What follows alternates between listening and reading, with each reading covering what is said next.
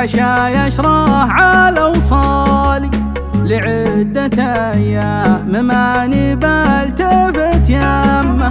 ما غير رايح لحالي وراجع الحالي ملي مع الناس مفت القهوة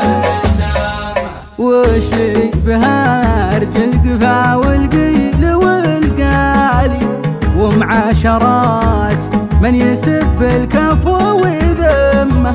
يا واجه لا تهم كل شرهة الغالي